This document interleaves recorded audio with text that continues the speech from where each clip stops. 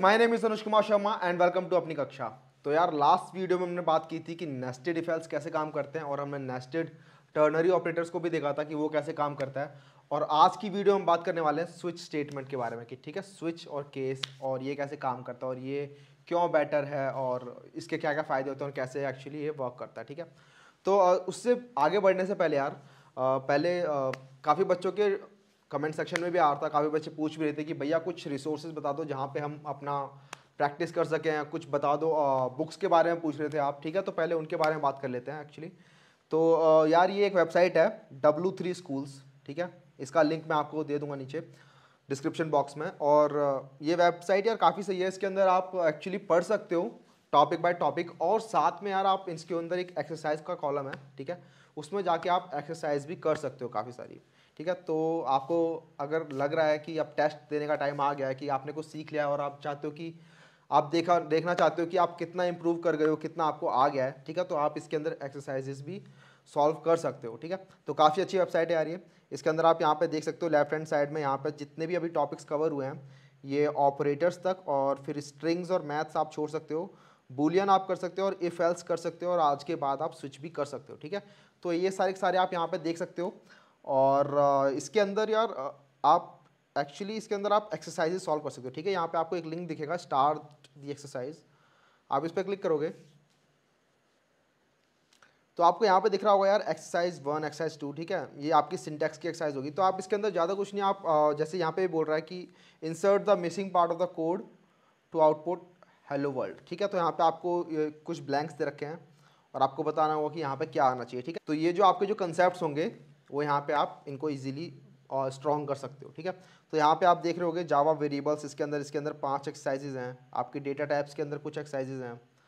Operators के अंदर, जैसे इस एक्सरसाइज को खोलते हैं ऑपरेटर के अंदर एक्सरसाइज नंबर फोर तो सिंपल कुछ नहीं पूछ रहा use the addition assignment operator to add the value five to the variable x ठीक है?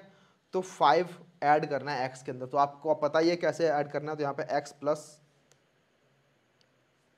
x plus equals to five ठीक है? ये आपको ऑपरेटर बता दिया गया था पहले ही कि x plus equals to five और आप सबमिट आंसर करोगे तो करेक्ट आंसर होगा तो यहाँ पे करेक्ट आ जाएगा। तो ऐसे करके आप इसमें आप अपना चेक कर सकते हो कि आप कितने स्ट्रांग हो गए हो ठीक है? और आप यहाँ से पढ़ भी सकते हो। और कुछ को आ, बुक्स की भी ज़रूरत थी ठीक है? तो मैंने यार खुद मैंने आपको पहले भी बताया था कि मैंने बुक्स से ही पढ़ा था। आ, लेकिन बिगनर्स के लिए ज़्यादातर अच्छा ये होता है कि वो ऐसे जैसे रिसोर्सेज हैं वो वहाँ से पढ़ लें। बट अगर आपको फिर भी बुक की ज़रूरत है तो यार एक बुक आती है जावा फॉर डमीज़ ठीक है? उससे मैंने पढ़ा था और वो काफ़ी अच्छी बुक है और काफ़ी ईजी बुक भी है। मैं सबको वही रिकमेंड करता हूँ और बिगिनर्स फ्रेंडली है काफ़ी ज़्यादा तो आप उसमें ईजीली मूव कर सकते हो अगर आप बिगिनर हो। तो जावा फॉर डमीज़ यार, मेरी तरफ़ से रिकमेंडेशन वही है, ठीक है? आपको ईजिली अमेजोन पर मिल जाएगी तो आप वहाँ से वो पढ़ सकते हो। इसके अलावा अगर किसी का कोई और डाउट था यार तो वो भी पूछ सकते हो आप।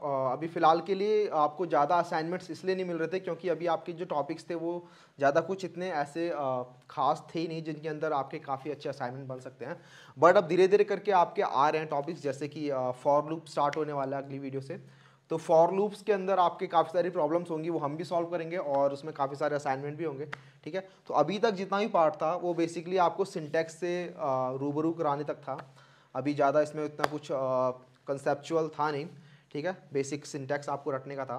बट अब धीरे धीरे करके आ रहे हैं इसमें लॉजिकल क्वेश्चंस और फॉर लूप के साथ धीरे धीरे करके हम आगे बढ़ेंगे और उसमें आपको क्वेश्चंस भी दिए जाएँगे और वो क्वेश्चंस एक्चुअली काफ़ी अच्छे होने वाले हैं, ठीक है? तो हम स्टार्ट करते हैं अपनी स्विच केस स्टेटमेंट्स के साथ। तो स्विच केस क्या होती है? तो जैसे हमने पहले पढ़ा था कंडीशनल स्टेटमेंट्स के बारे में कि इफ़ एल्स कंडीशंस होती हैं, ठीक है? वैसे स्विच भी एक कंडीशनल स्टेटमेंट्स के अंदर ही आता है। तो यार आप यहाँ पे देख रहे होगे कि ये स्विच स्टेटमेंट है और इसका सिंटेक्स भी कुछ कुछ आपको समझ में नहीं आ रहा होगा फ़िलहाल बट जानने का ट्राई करते कि ये करता कैसे काम है। तो स्विच स्टेटमेंट इसके अंदर पैरेंथिस में आप एक्सप्रेशन लिखते हो, ठीक है? एक्सप्रेशन या वेरिएबल यहाँ पे लिखा हुआ है। तो आप वो वैल्यू जो आप चाहते हो चेक करना कि ये वैल्यू किसके बराबर होने वाली है? ये वैल्यू वैल्यू वन के बराबर होने वाली है क्या? ये वैल्यू वैल्यू वैल्यू टू के बराबर होने वाली है? इस टाइप की जो फंडे होते हैं इस टाइप की जो इफ़ कंडीशंस होती हैं उनको ईजियर तरीके से लिखने का ये तरीका होता है ठीक है? तो एक बार एक इफ़ कंडीशन देख लेते हैं कि वो इफ़ कंडीशन कैसे मैसी हो सकती है और कैसे स्विच कंडीशन से उसे हम आ, अच्छा बना सकते हैं ठीक है? तो आ, मैं क्या करूँगा कंडीशन स्टेटमेंट्स के अंदर ही एक नई क्लास बना लेते हैं न्यू क्लास और इसका नाम देने वाला हूँ मैं स्विच के statements public static void main finish इसको उड़ा देते हैं। तो सपोज़ uh, कि आपका वीक uh, है एक पूरा वीक और वीक uh, के अंदर कुछ डेज़ हैं जिनके अंदर आप कुछ करना चाहते हो ठीक है? अगर संडे है तो आप कुछ और करना चाहते हो मंडे है तो आप कुछ और करना चाहते हो ठीक है? ऐसा कुछ है। तो let's say int day of week let's say four तो डे ऑफ़ वीक जो होगा वो इंटीजर ले लिया मैंने यहाँ पे वन से लेकर सेवन तक। वन होगा तो संडे मान लो आप अपने आप ही सेवन होगा तो आप सैटरडे मान लो ठीक है? Sunday Monday Tuesday Wednesday Thursday Friday Saturday तो ऐसे करके सेवन डेज़ हो जाएँगे डे ऑफ़ वीक और आ, फिर आप क्या करोगे? अगर डे ऑफ़ वीक आपका वन है तो कुछ काम करना है ठीक है? अगर डे ऑफ़ वीक आपका टू है तो ये काम करना है, ठीक है? ऐसे करके आप इसे रिपीट कर सकते हो।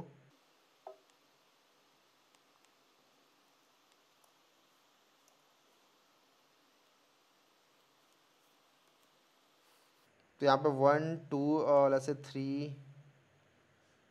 four five six six ठीक है? और इफ़ डे ऑफ़ वीक आपका सेवन है। तो आप ये काम करना चाहते हो, ठीक है? तो आपने यहाँ पे देखा, मैंने यार डे ऑफ़ वीक जो एक वेरिएबल था, जो एक एक्सप्रेशन थी, उसको मैं सात बार चेक कर रहा हूँ, ठीक है? सात बार चेक कर रहा हूँ कि अगर ये वन है तो ये काम करो टू है तो ये काम करो। आप यहाँ पर मल्टीपल इफ्स के बजाय आप एल्सिफ भी लगा सकते हो सेम रिज़ल्ट आने वाला है। बट यहाँ पे हो क्या रहा है, मुझे बार बार डे ऑफ़ वीक को चेक करना पड़ रहा है, ठीक है? बार बार मुझे डे ऑफ़ वीक को चेक करना पड़ रहा है और इससे काफ़ी आपका जो कोड है वो मैसी हो जा रहा है, ठीक है? बीच में अगर आपका डे ऑफ़ वीक कहीं पे चेंज हो गया तो फिर आपका फिर पूरा खेल ख़त्म हो जाएगा बिकॉज़ आपका फिर वो डे ऑफ़ वीक अगर सपोज़ मैंने यहाँ पे किसी, कोई आया बीच में और उसने फोर की जगह वन कर दिया, ठीक है? तो आपका कोड फिर वहीं से ख़राब ही हो गया, पूरा का पूरा, ठीक है? तो ऐसी चीज़ें हो सकती हैं आपके कोड में, ठीक है? तो आप चाहते हो कि जो एक वेरिएबल जो एक्सप्रेशन है वो एक ही बार चेक हो और वो सबके सब चेक कर लें, ठीक है? जितनी भी चीज़ें हैं, जितनी भी आपकी वैल्यूज़ हैं, वो सबके लिए चेक हो जाए। तो उसके लिए यार आप स्विच स्टेटमेंट यूज़ करते हो, ठीक है? स्विच स्टेटमेंट यहाँ पे काम आती है काफ़ी। तो आप क्या करोगे स्विच स्टेटमेंट के अंदर कि जो डे ऑफ़ वीक जो आपने बनाया है ना, ये जो एक्सप्रेशन है, ये जो वेरिएबल या एक्सप्रेशन है, इसको आप स्विच में डालोगे पैरेंथेसिस के अंदर और आप मल्टीपल केसेस बना लोगे, ठीक है? तो हमारे केस में यहाँ पे केसेस क्या हो जाएँगे? One two three four five six seven ठीक है? तो बार बार मुझे डे ऑफ़ वीक को चेक करने की ज़रूरत नहीं है। डे ऑफ़ वीक मैंने यहाँ पे स्विच में डाला एक बार और मैं मल्टीपल केसेस बना लूँगा, ठीक है? वन से लेकर सेवन तक। और उनके अकॉर्डिंगली जो भी मुझे एग्जीक्यूट कराना है, वो यहाँ पे मैं एग्जीक्यूट करा सकता हूँ स्टेटमेंट्स के अंदर, ठीक है?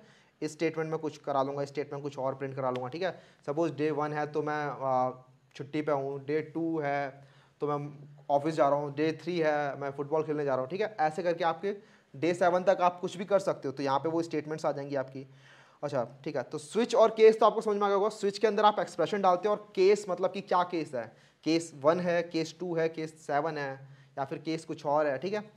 वो यहाँ पे होता है। एक यहाँ पे आपको डिफ़ॉल्ट दिख रहा होगा। डिफ़ॉल्ट का मतलब कि अगर इनमें से कुछ भी नहीं है, अगर वन से लेकर सेवन तक कुछ नहीं मिला तो डिफ़ॉल्ट वाला एग्जीक्यूट हो जाएगा। जैसा आपको बताया था इफ़ एल्स इफ़ वाला था, कि इफ़ के अंदर आप मल्टीपल एल्स इफ़ डाल सकते हो, और उसके बाद में आप एंड में चाहो तो एक एल्स स्टेटमेंट भी लगा सकते हो, ठीक है? एल्स स्टेटमेंट क्या था कि अगर ऊपर से लेकर अभी तक इसे कुछ नहीं मिला तो एल्स स्टेटमेंट एग्जीक्यूट तो होगा ही होगा। वैसे यहाँ पर डिफ़ॉल्ट है अगर इसे ऊपर से लेकर अभी तक नीचे तक कुछ नहीं मिला तो लास्ट वाला तो एग्जीक्यूट हो ही जाएगा ठीक है? तो डिफ़ॉल्ट वहाँ पे यूज़ हो जाता है। और फिर आपको यहाँ पे ब्रेक दिख रहे होंगे ठीक है? ब्रेक ब्रेक तो ब्रेक से क्या होता है यार कि आ, अगर इसे आपकी वैल्यू वन मिल जाती है कि अगर आपका सपोज़ वैल्यू वन आपकी ट्रू हो गई ठीक है? तो वो वैल्यू वन वाली स्टेटमेंट को प्रिंट कर देगा प्रिंट कर देगा या फिर जो भी काम होगा यहाँ पे वैल्यू वन के अंदर जो स्टेटमेंट्स होंगी वो सारी सारी लाइनें एग्जीक्यूट हो जाएँगी। अगर आप यहाँ पर ब्रेक नहीं लगाते हो, ठीक है तो वो वैल्यू टू को भी चेक करेगा। और वैल्यू टू को चेक करेगा और वैल्यू टू अगर ट्रू हो गई इस बार तो वो वैल्यू टू को भी प्रिंट कर देगा। तो ऐसे करते करते वो सबको प्रिंट करता रहेगा, ठीक है? तो इससे बचने के लिए हम क्या करते हैं, यहाँ पर ब्रेक स्टेटमेंट लगा देते हैं। अभी हम कोड में भी देखेंगे, लेकिन ब्रेक स्टेटमेंट से क्या होता है कि अगर इसे दिख गया कि वैल्यू वन अगर ट्रू हो गई तो उसी टाइम ये बाहर निकल जाएगा, ठीक है? उसी टाइम ये स्विच वाले ब्लॉक से बाहर निकल जाएगा। और आपके लिए सारी सारी चीज़ें प्रिंट नहीं होंगी यहाँ पे उस केस में। तो यार ये एक स्विच स्टेटमेंट का एक फ्लो चार्ट भी है, ठीक है? इस फ्लो चार्ट को देख लेते हैं। तो ये एक्सप्रेशन आपकी हो गई, जो एक्सप्रेशन हमारी थी डे ऑफ़ वीक तो ये एक्सप्रेशन हो गई। ये चेक करेंगे क्या केस वन से मैच कर रही है। अगर केस वन से मैच कर रही है तो आप code one code block one में चले जाओगे, ठीक है? जो कोड ब्लॉक होगा। और उसमें आपने ब्रेक लगा रखा है। अगर वो ट्रू है तो वो डायरेक्ट ख़त्म हो जाएगा, ठीक है? नीचे चला जाएगा। लेकिन अगर केस वन मैच नहीं करता, अगर वो डे ऑफ़ वीक वन नहीं है तो ये केस टू को मैच करेगा आप ठीक है? केस टू को मैच करेगा। अगर केस टू मैच कर गया तो केस टू का जो कोड ब्लॉक होगा, वो रन होगा। अगर केस टू भी मैच नहीं किया तो केस थ्री, ऐसे केस फोर, केस फाइव, किस, केस सेवन और आप जितने मर्ज़ी केस बना सकते हो। और फाइनली अगर आपने एक डिफ़ॉल्ट लगा रखा है तो डिफ़ॉल्ट वाला केस भी जो ब्लॉक होगा, वो एग्जीक्यूट हो जाएगा, ठीक है? तो इसको आप कोड में देख लेते हैं कि कोड में हम स्विच स्टेटमेंट्स कैसे लिखते हैं। तो सेम एग्ज़ाम्पल ले लेते हैं यार, ये डे ऑफ़ वीक वाला ही। तो मैं क्या करता हूँ इस पूरे कोड को कमेंट कर देता हूँ। तो कमेंट करने के लिए कंट्रोल स्लैश कमांड स्लैश या फिर कंट्रोल स्लैश आपके विंडोज़ के केस में। ठीक है? तो कुछ नहीं करना स्विच जैसे पहले बताया स्विच उसके अंदर पैरेंथेसिस के अंदर आपकी स्टेट एक्सप्रेशन आएगी। तो एक्सप्रेशन हमारी होगी डे ऑफ़ वीक ठीक है? उसके बाद आपके करली ब्रेसिस करली ब्रेस के बाद लिखोगे आप केस केस अगर आपका वन है अगर आपका केस वन है तो आप क्या चाहते हो कि अब ये चीज़ एग्जीक्यूट हो? तो अगर आपका डे ऑफ़ वीक वन है तो आप आ, आप लीव पे हो तो सपोज़ मैं प्रिंट करता हूँ यहाँ पे। आई एम ऑन लीव ठीक है? फिर लगा दिया ब्रेक उसके बाद आता है आपका केस टू ठीक है केस टू मतलब यहाँ पे मंडे हो गया, ठीक है? मंडे को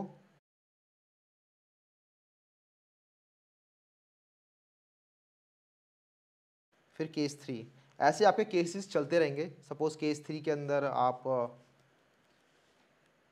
दादा।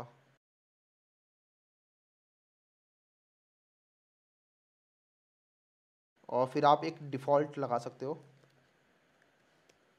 Default I don't know what day it is तो अगर आप इसे रन करके देखोगे तो हमने यहाँ पे डे ऑफ़ वीक ले रखा है फोर ठीक है? तो केस वन भी नहीं चलेगा केस टू भी नहीं चलेगा केस थ्री भी नहीं चलेगा तो डिफ़ॉल्ट चल जाएगा बिकॉज़ आपका डे ऑफ़ वीक जो है वो फोर है, ठीक है? और फोर हमने यहाँ पे हैंडल नहीं किया हुआ फोर वाला केस देखते हैं क्या होता है? I don't know what day it is ठीक है? इसे डे फोर का नहीं पता. बट अगर डे अगर सपोज़ मैं यहाँ पर ले लेता हूँ टू मंडे वाला डे ठीक है?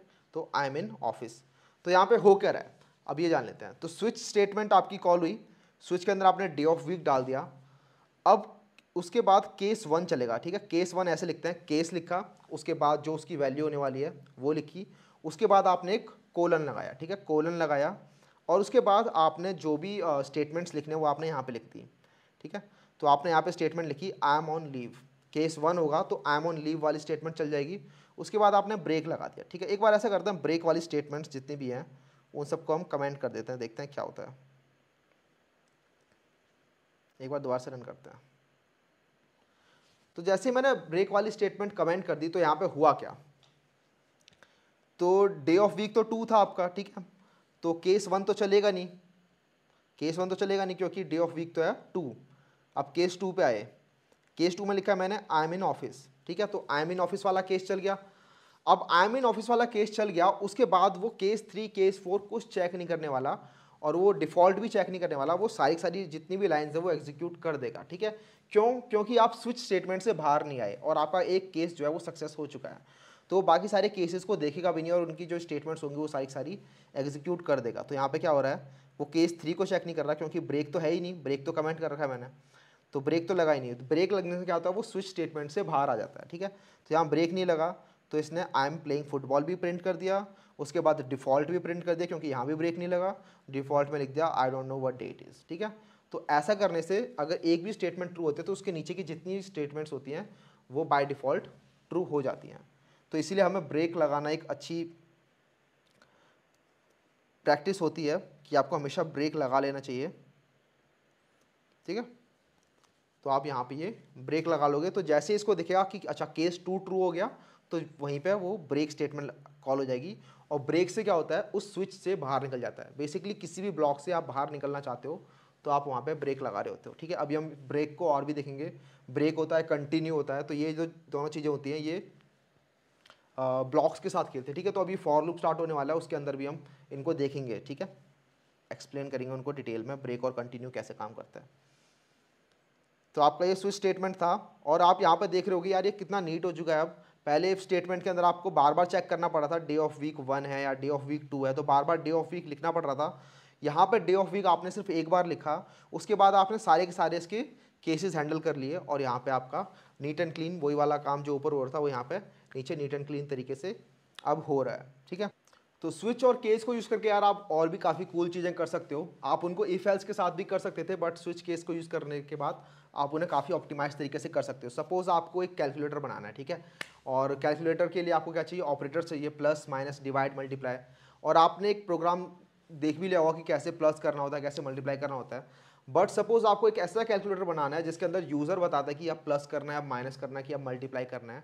तो उस केस में आपको कंडीशन लगानी पड़ेगी कि अच्छा अगर मुझे माइनस करना है तो मुझे माइनस वाली चीज़ें लगानी है प्लस करना है तो प्लस वाली चीज़ें लगानी है ठीक है? तो उसको देखते हैं स्विच केस कैसे हैंडल कर पाता है ठीक है? तो एक कैलकुलेटर बनाते हैं। तो आ, मैं कंडीशनल स्टेटमेंट्स के अंदर ही एक नई क्लास बना रहा हूँ न्यू क्लास कैलकुलेटर ठीक है? कैलकुलेटर क्लास बनाते हैं। तो मैं दो ऑपरेंट्स ले लेता हूँ जिनके साथ हम काम करने वाले हैं। तो सपोज़ एक ए ऑपरेंट ले लिया जिसकी वैल्यू मैंने रख दी फोर या फिर ऐसे करते हैं, इनको भी यूज़र से लेते हैं, ठीक है? आपको यूज़र इनपुट तो लेना आ ही गया है। तो क्या करते हैं यूज़र इनपुट लेने के लिए? सबसे पहले स्कैनर क्लास का एक ऑब्जेक्ट बनाते हैं। Scanner s c equals to new scanner system dot in अब यहाँ पे एरर आ रहा है कि इसको पता ही नहीं ये स्कैनर कहाँ से आया, ठीक है? तो स्कैनर क्लास को हमें इंपोर्ट कराना पड़ेगा तो यहाँ पे मैंने क्लिक किया इसके ऊपर और ये जावा डॉट यूटिल वाला स्कैनर इंपोर्ट करा लिया। तो यहाँ पे अपने आप लिखा गया Java import Java dot util dot scanner ठीक है? ये इक्लिप्स ने अपने आप ही आप, आपके लिए इम्पोर्ट करा दिया। तो ये स्कैनर क्लास का हमने एक ऑब्जेक्ट बना लिया तो उसके बाद हम दो वैल्यूज़ लेते हैं, उससे सबसे पहले पूरा का पूरा ठीक से लिखते हैं, ठीक है? तो उससे साउट एंटर फ़र्स्ट नंबर। और int a equals to s c dot next int ठीक है? तो एंटर फ़र्स्ट नंबर उसके बाद आपने ए के अंदर जो जिसने नंबर एंटर किया, वो आपने स्टोर करा लिया। उसके बाद आप लिखते हो एंटर सेकंड नंबर तो आपने बी के अंदर दूसरा नंबर रख लिया। उसके बाद आप उससे बोलते हो कि एंटर दी ऑपरेशन कि आप क्या करना चाहते हो? प्लस करना चाहते हो माइनस करना चाहते हो मल्टीप्लाई करना चाहते हो डिवाइड करना चाहते हो, आपने वो इनपुट मांग लिया। और वो इनपुट आप कैरेक्टर के अंदर स्टोर करा सकते हो तो char operation equals to s c dot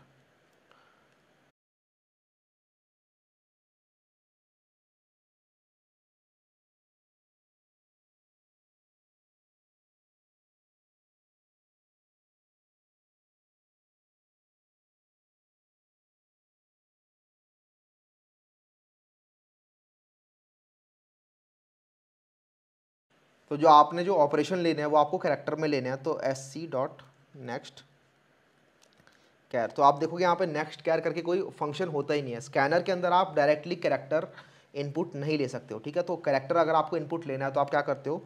आप क्या करते हो? स्ट्रिंग इनपुट ले लेते हो। मैंने आपको स्ट्रिंग बताया था पहले भी कि स्ट्रिंग वर्ड्स और सेंटेंसेज ये सब होते हैं, ठीक है? तो आपने क्या किया? एक वर्ड ले लिया पूरा का पूरा, जो सिर्फ़ एक कैरेक्टर का है, ठीक है? एक कैरेक्टर उस उस उस वर्ड के अंदर, ठीक है? और आपने क्या किया? उस उस स्ट्रिंग का जो पहला कैरेक्टर है, वो निकाल लिया अलग और उसे अपने आपने इस कैरेक्टर ऑपरेशन में डाल दिया, ठीक है? अगर आपको समझ नहीं आ रहा है कि अभी स्ट्रिंग कैसे आपने लिया और फिर स्ट्रिंग के अंदर से आपने कैरेक्टर कैसे लिया तो टेंशन मत मतलब यार स्ट्रिंग अभी हम पे पढ़ाया नहीं गया है।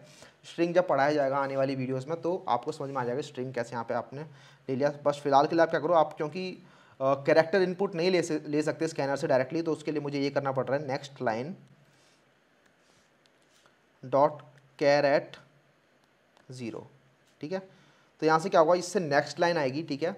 और जो पूरी लाइन होगी, उसका जो पहला कैरेक्टर होगा, और कैरेक्टर हमेशा ज़ीरो से स्टार्ट होता है, ये भी आपको बताया जाएगा कि ज़ीरो बेस इंडेक्सिंग इंडेक्सिंग होती है। तो ज़ीरो से जो कैरेक्टर होगा, वो आपका इस ऑपरेशन कैरेक्टर में चला गया, ठीक है? अच्छा एक और चीज़ होगी यार, यहाँ पे जो ये नेक्स्ट लाइन है ना, वो आप डायरेक्टली अभी आप इनपुट देने का ट्राई करोगे तो वो नेक्स्ट लाइन आपको मिलेगा ही नहीं। क्यों? क्योंकि इससे पहले आपने एक इंटीजर का इनपुट ले लिया है। इंटीजर का इनपुट लेने के बाद अगर आपको स्ट्रिंग का इनपुट लेना होता है, यार ये बात ध्यान से समझ लेना कि अगर आप इंटीजर का इनपुट लेने के बाद स्ट्रिंग का इनपुट ले रहे हो तो आप इसे डायरेक्टली नहीं ले सकते।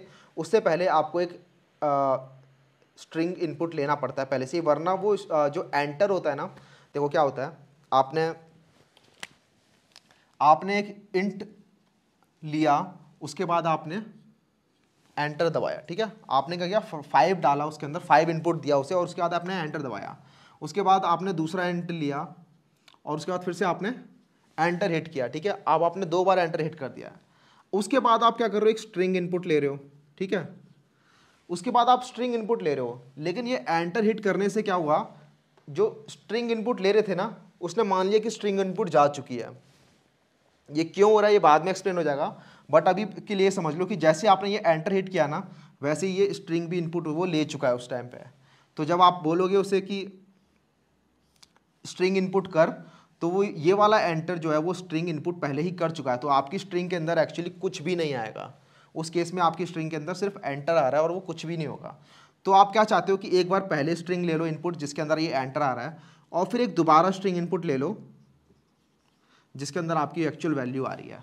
ठीक है तो दो बार स्ट्रिंग इनपुट ले लो। ये सिर्फ़ कब करना पड़ता, जब आपने स्ट्रिंग से पहले इंटीजर या फ्लोट ऐसी वैल्यूज़ आपने इनपुट में ली हैं। अगर आप डायरेक्टली पहली स्टेटमेंट आपकी ऐसी है जिसके अंदर आप स्ट्रिंग इनपुट ले रहे हो तो उसको आप डायरेक्टली स्ट्रिंग को ऐसे इनपुट ले सकते हो।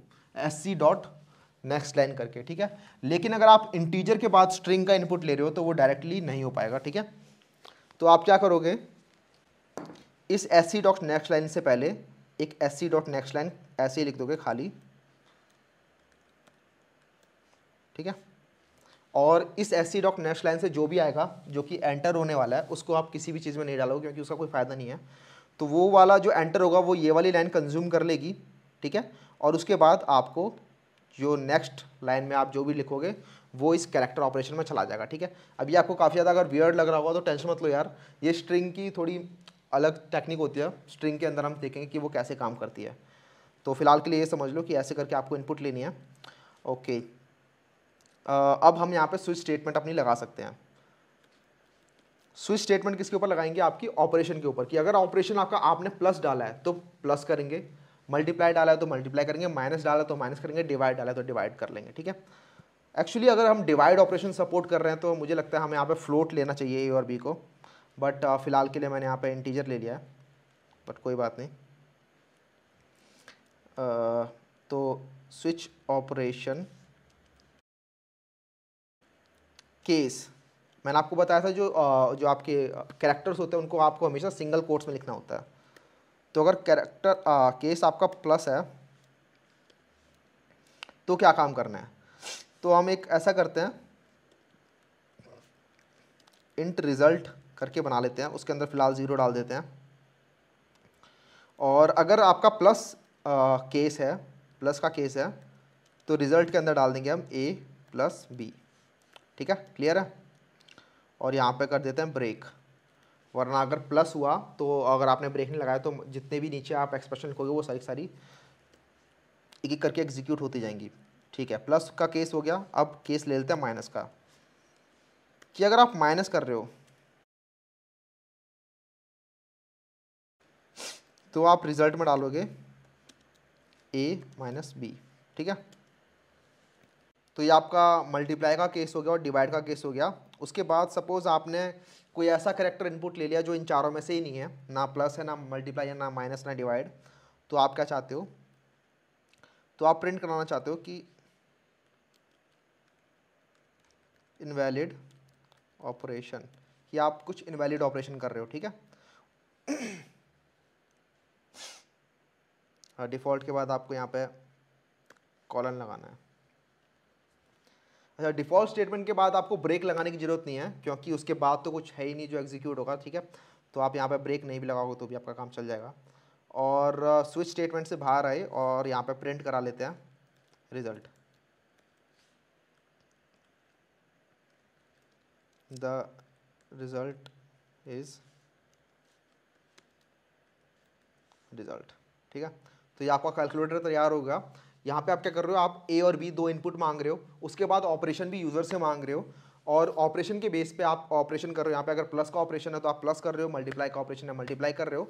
और उन सबको रिज़ल्ट में स्टोर कर ले रहे हो और फाइनली आप रिज़ल्ट प्रिंट करा ले रहे हो। अगर आप प्लस माइनस मल्टीप्लाई डिवाइड के अलावा कोई ऑपरेशन बोलते हो उसे करने के लिए या कुछ और उसे बोलते हो करने के लिए तो उसे वो इनवैलिड ऑपरेशन बोल के आ, कुछ भी प्रिंट नहीं करेगा वहाँ पे। एक्चुअली प्रिंट करेगा। वो यहाँ पे ये जो वैल्यू ज़ीरो रखी है मैंने वो ज़ीरो वैल्यू यहाँ पे प्रिंट कर देगा जो कि आपकी इनवैलिडी वैल्यू है ठीक है? Okay let's run this run किया तो यहाँ पे लिखा रहा है एंटर फ़र्स्ट नंबर ठीक है? So let's say first number is twelve enter फिर बोलते हैं enter second number second number let's say आपका थ्री है ठीक है? उसके बाद मैंने एंटर एट किया। Uh, आप यहाँ पे देख रहे होगे कि एरर आ रहा है। तो uh, मुझे दिख गया मैंने गलती क्या करी है। तो यहाँ पे मैंने लिखा हैज़ नेक्स्ट लाइन मुझे हैज़ नेक्स्ट लाइन नहीं लिखना चाहिए मुझे यहाँ पे नेक्स्ट लाइन लिखना चाहिए ठीक है? तो यहाँ पे नेक्स्ट लाइन लिखेंगे तो ये नेक्स्ट लाइन जो होगी ये इस एंटर में चली जाएगी। मैंने यहाँ पे हैज़ नेक्स्ट लाइन लिख लिया था जिसका काम कुछ अलग होता है वो आपको बाद में बता देंगे। लेकिन फ़िलहाल के लिए हम यहाँ पे नेक्स्ट लाइन लिख रहे हैं क्योंकि नेक्स्ट लाइन से आपकी नेक्स्ट इनपुट आती है नेक्स्ट स्ट्रिंग की इनपुट आती है। बट हैज़ नेक्स्ट लाइन से चेक होता है कि आगे लाइन है कि नहीं है ठीक है? तो वो उसने कुछ काम यहाँ पे किया नहीं। और वो डायरेक्ट इस लाइन पर चला गया और दिक्कत हो गई काफ़ी। और यहाँ पे string index out of bound exception आ गया क्योंकि स्ट्रिंग के अंदर आपने कुछ डाला ही नहीं और आप उसके अंदर से ज़ीरो करेक्टर निकालना चाहते हो तो ये अगर आपको यहाँ पे एरर समझ में नहीं आ रहा कि एरर का मतलब क्या है तो ये आपको पूरा पता चलेगा जब आप स्ट्रिंग के अंदर आप वर्क करोगे। और फ़िलहाल के लिए समझ लो यार, यहाँ पे मैंने हैज़ नेक्स्ट लाइन लिखा था, उसको मैंने नेक्स्ट लाइन में कन्वर्ट कर दिया। ओके, दोबारा रन करते हैं इसे। ठीक है तो enter first number again let's a twelve second number three उसके बाद एंटर दी ऑपरेशन ऑपरेशन में आपने सपोज़ लेट्स से माइनस कर दिया। ठीक है? माइनस लिखा और एंटर तो द रिज़ल्ट इज़ नाइन तो यहाँ पे क्या हुआ? ए बी ले लिया इसने, उसके बाद आपको बता दिया ऑपरेशन भी ले लिया इसने। ठीक है? ऑपरेशन एज अ स्ट्रिंग लिया स्ट्रिंग का जो ज़ीरो करेक्टर था, जो कि माइनस है, वो इसने उठा लिया यहाँ पर और ऑपरेशन के बेस पर इसने स्विच स्टेटमेंट लगाई। स्विच स्टेटमेंट में इसने चेक किया कि क्या प्लस है वो ऑपरेशन नहीं। ऑपरेशन प्लस नहीं है ऑपरेशन तो माइनस है। तो उसने सेकंड केस चेक किया कि अच्छा माइनस है तो उसने result equals to A minus B A आपका ट्वेल्व था बी आपका थ्री था तो रिज़ल्ट के अंदर ट्वेल्व माइनस थ्री जो कि नाइन होता, वो स्टोर हो गया। और यहाँ पे आपने प्रिंट कर दिया द रिज़ल्ट इज़ नाइन ठीक है? एक और बार इसे रन करते हैं। तो अब आप इसे जितनी मर्ज़ी बार रन कर सकते हो, ठीक है? और आपका ये एक तरीके से कैलकुलेटर ही बन गया है। तो आप इसको डिफरेंट डिफरेंट नंबर्स के लिए और डिफरेंट डिफरेंट ऑपरेशंस के लिए रन कर सकते हो। लेट्स से इस बार ए हो गया forty five B let's say हो गया ट्वेंटी थ्री और मैं इनको मल्टीप्लाई करना चाहता हूँ। तो the result is one zero three five ठीक है? एक बार और रन करके देखते हैं इसे। लेट्स से ए आपका ट्वेल्व है बी आपका फाइव है और मैं कुछ और करना चाहता हूँ। सपोज़ मैंने कुछ भी लिख दिया यहाँ पे। लेट्स से मैंने ये लिख दिया, ठीक है? तो ये तो सपोर्टेड नहीं है यहाँ पे।